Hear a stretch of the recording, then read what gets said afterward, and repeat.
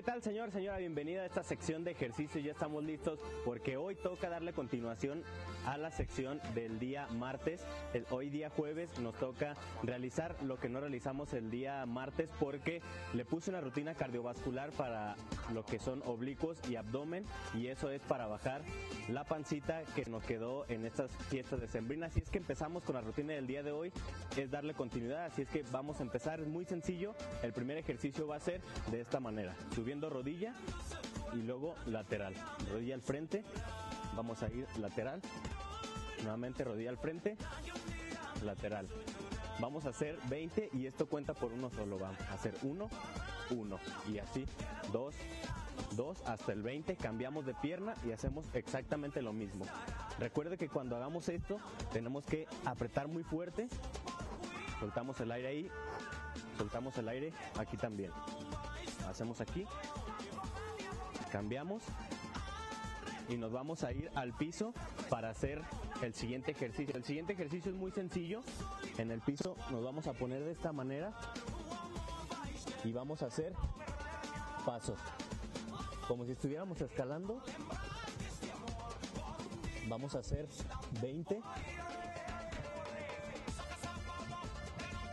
20 aquí. Nos vamos a ir nuevamente arriba. La siguiente posición va a ser manos a la nuca. Volteamos y ahí bajamos lo más que podemos. Regresamos. Volteamos hacia el otro lado. Bajamos lo más que podamos, siempre apretando el abdomen. Hacemos 20 de cada lado. Y aquí llevo apenas dos. Y ya se debe de sentir en este punto. Hacemos aquí. Y hacemos 20 por lado. Esto es muy sencillo y así estamos trabajando el abdomen. Siempre recordar apretar. Siguiente ejercicio aquí mismo. Bajamos un poquito y vamos a hacer hacia los lados. Aquí. Vamos a hacer aquí. Apretando la parte lateral. Vamos a hacer aquí.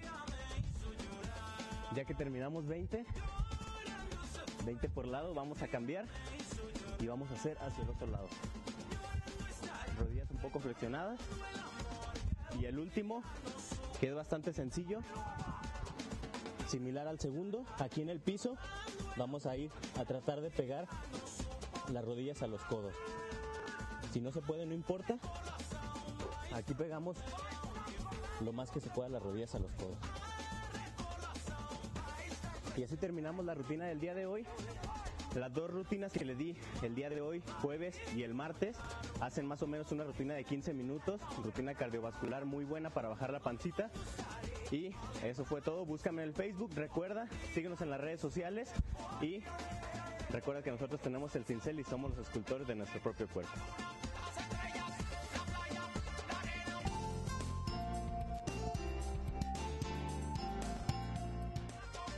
Continuamos con más. Es jueves y jueves de mitos y realidades. ¿Con quién? Con nuestro especialista Ricardo Ponce, que viene el día de hoy con un tema muy especial que es la bronquitis. Ricardo Ponce, oye, señor. Hola, Augusto, buenos ¿Cómo estás, días. Buenos días, amigos. Oye, la gente te adora, la gente te quiere y sobre todo más porque nos resuelves esas dudas de los mitos y las realidades. El día de hoy tenemos este tema que es acerca de la bronquitis. ¿Y qué les parece si arrancamos? Porque el día de hoy hasta remedio casero les traemos, ¿cierto? Así es, pues es lo que ustedes me piden, amigos. Así que vámonos. Dice. ¿es recomendable aún con bronquitis bañar a un niño para bajar la temperatura? Esto es mito. Ok, este es un mito muy común entre los mexicanos, que si el niño está enfermo, no le permitan caminar descalzo. ¿Sabes qué pasa, Augusto? ¿Qué? Realmente el caminar descalzo, lo- la, la planta de los pies no llega a afectar los bronquios. ¿A poco? No, únicamente afecta caminar descalzo para las personas que tienen reumas, las personas que tienen artritis. Pero sí hay que evitar en la bronquitis los cambios bruscos de temperatura. Eso sí es importante. Pero el caminar, este, no pasa nada. No, el caminar realmente, a, a menos de que sea un trayecto largo, que el piso esté demasiado frío, pues sí lograrían eh, enfria- enfriarse un poquito la sangre, pero normalmente no. Oye, ¿y bañar a un niño para bajarle la temperatura? Acá, esto les da un miedo a las mamás Sí. terribles. Cuando el niño tiene fiebre, es necesario bajarlo, sí. Cuando la fiebre está por arriba de 38 grados centígrados, es necesario bajarle la temperatura. Lo más común en los niños pequeños es bañarlos, pero bañarlos con agua tibia. Si lo bañamos con agua fría, hay un mecanismo de rebote y después el cuerpo produce más calor por el frío del agua. Entonces es importante bañarlos, pero con agua tibia. Tibia. Tibia. Y si el niño no se deja bañar o no podemos bañarlo, hay que ponerle compresitas frías con agüita en la frente, en las axilas, en las ingles, sobre las piernas y en el abdomen.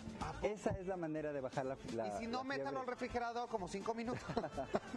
Es- le voy a decir a tu mamá que te meta a ti. sí, bueno. ¿El cigarro es un factor de riesgo para la bronquitis? Hablar de bronquitis Claro. es como que algo básico hablar del, del cigarro. Pero más que del cigarro vamos a hablar de los irritantes. La contaminación de los automóviles, el humo, del, el, humo de las fábricas y por supuesto el, riesgo de la- del tabaco ocasiona el 80% del cáncer de pulmón, Augusto. No. Respirar sustancias que nos ocasionan alergias ocasiona asma bronquial. Ajá. Entonces, por supuesto, si ya tenemos bronquitis crónica, para no tener esos problemas del cáncer es necesario suspender el cigarro de inmediato.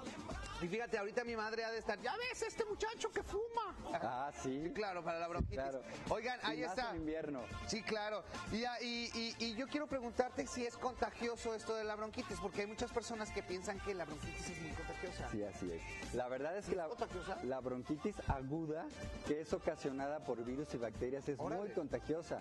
Lo que tenemos que hacer es evitar toser frente a las personas. Y si tosemos, toser frente al antebrazo. Lavar todas las, todas las superficies que el enfermo tocó, porque ahí es en donde se, donde se localiza las virus y las bacterias, en las manijas de las puertas Es- entonces, en el teléfono. en el teléfono. Ah. Todo lo que toca ahí es donde se, En el donde se contagia. En el teclado, de- exa- exactamente. En el excusado.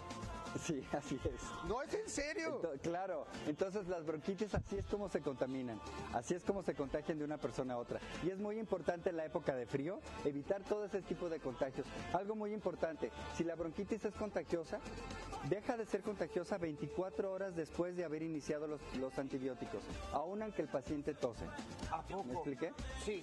Después de 24 horas eh, de que empezamos a tomar el medicamento, deja de ser ya contagioso. Aunque el, el enfermo siga tosiendo. Pero ya no nos va a contagiar. Pero es necesario esperar 24 horas. Esto es muy importante, amigos, que lo recuerden. Oigan, y ahora sí vámonos antes de que se nos acabe el tiempo porque quiere- queremos darles los remedios caseros. Hay remedios caseros que podemos este, hacer para que podamos tener eh, un alivio más pronto, ¿no? Entonces vámonos con este remedio casero, mi querido amigo. Amigos, muchas gracias por todas y tantas, tantas eh, comunicaciones que tienen ustedes en mi face. Y aquí está lo que ustedes me pidieron. Remedios caseros para la bronquitis. Voy a dar una infusión. La pueden apuntar y si no tienen tiempo de apuntar, En va a estar en mi face. Claro que sí. Para dos litros de agua, cuatro ajos, una cebolla morada, un manojo de flores de gordolobo. Disculpen que vaya rápido, pero luego me cortan. Se hierve y tomar una taza con jugo de medio limón y una cucharadita de miel de abeja. Se van a sentir muy bien, muy rápido. El ambiente se debe de vaporizar con aguas, con hojas de eucalipto o vinagre de sidra de manzana. Esto ayuda a despejar las vías aéreas. El, el- el consomé de pollo, este no es mito, es una, es una verdad y realmente funciona. Una tacita de consomé de verduras, pero que contenga ajo y cebolla. O Esto sea, les ayuda. Aquí la clave de todo es el ajo y la cebolla. ajo y la cebolla. Porque estamos eh, escuchando y viendo que el ajo y la cebolla es muy importante Sí, para las es. fusiones y demás. Así es. ¿Y qué hacer si tenemos dificultad respiratoria? Es Cuando no podemos respirar y solamente est- estamos en casa y no tenemos un doctor a la mano o algo. Hay unas flores que se llaman malva, que Malva. normalmente hay en muchos lados. Ajá. 50 hojas, 50 gramos de hoja de malva en un litro de agua y ayuda para la, para la enfermedad respiratoria. Esto lo vamos a tomar, lógicamente. Tomadas. O sea, hacemos un té y se toma. Y hacemos un té y se toma. ¡Ahí lo tiene! ¡Ay, perdón! No, ya, ya, ya. ¿Ya fue? Acostar a los niños boca abajo para que no se nos asfixie con, la, con las flemitas cuando hay. Tomar muchos líquidos, reposo, evitar cambios bruscos de temperatura y sobre todo dejar de fumar. Exacto. Ay, qué barbaridad. No fumen, qué feo. Feo es fumar, señores, no fumen. Así Oigan, es. y ahí está, y pueden encontrar ustedes a Ricardo en el Facebook, que lo encuentra como Ricardo Ponce Villaseñor, porque ahí le puede ayudar a usted para resolver cualquier duda que tenga de mitos y realidades o del tema que tratamos el día de hoy. Ricardo. Augusto, la siguiente, a partir de la siguiente semana vamos a tener una sesión de mitos y realidades ginecológicos. También a nene, para todas mis amigas que de Así repente que se tienen que cuidar de mucho, ¿no? Sí. Ricardo, muchas gracias y nosotros continuamos con más. Les recuerdo que nuestras líneas telefónicas están abiertas. 3770-0080, boletos para el cine porque lo quiero consentir. ¡Vámonos! Hasta luego.